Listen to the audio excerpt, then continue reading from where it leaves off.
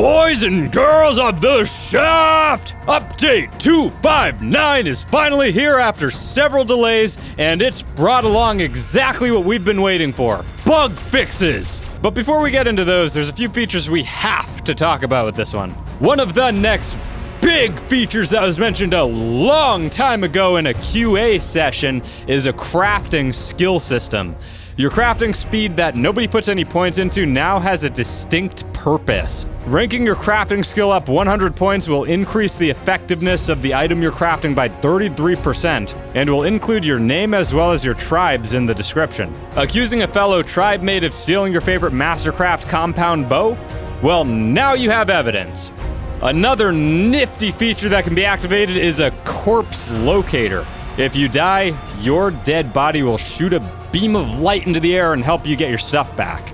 Okay, this is a feature people, including me, have been waiting for for a long time. Disable structure collision! Finally, I can build my tower!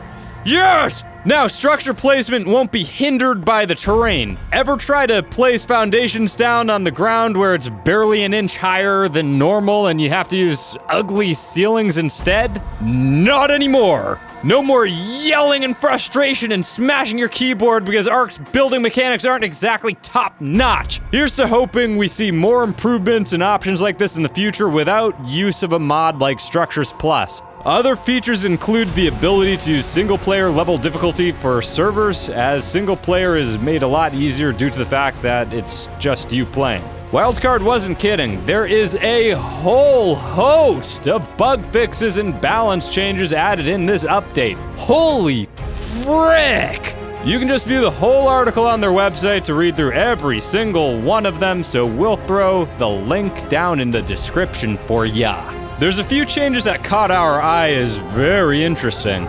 Daytime was made 25% longer, player movement speed was changed, and the Tek ATV was added as an engram in single player only once you've reached max ascension. Further confirming that the ATV will be a craftable item in the near future. Check out our spotlight video on that by clicking the card above. There were even balance changes made to creatures in the game, and here's one everyone has been waiting for! The Spinosaurus now has a roar! Now you and your friend can recreate the T-Rex versus the Spinosaurus fight in Jurassic Park 3 that nobody wants to remember because that movie sucked! Real talk though, it's nice to see that all the big carnivores now have a proper roar function. In the future, we'd like to see a small change that allows these guys to roar while walking, running, just for intimidation factor. Wildcard, if you're watching this, please make this happen. I know you watch our videos. I know you try to pretend like you don't see them, but I know you see them. What else is new?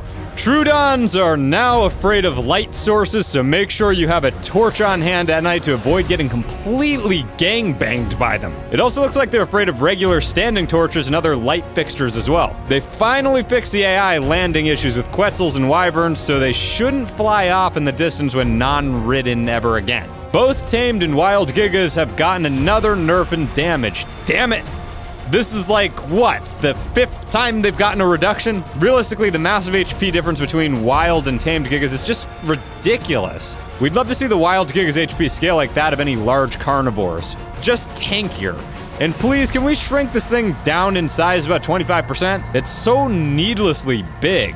It takes twice as many points to level up movement speed than it used to before. Which is good because we're sick of the throwing C4 while on a Thyla with 300% movement speed method. But this kinda screwed up everyone's tames in the process.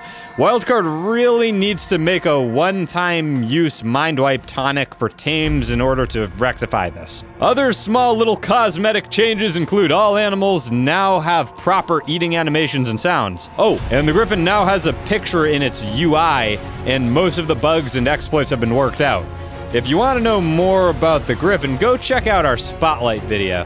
And that about covers it for this patch. There's still loads more on the way as the release date gets closer and closer, and there's some new features we'd love to see in the final release. We'll be doing a video on that at some point.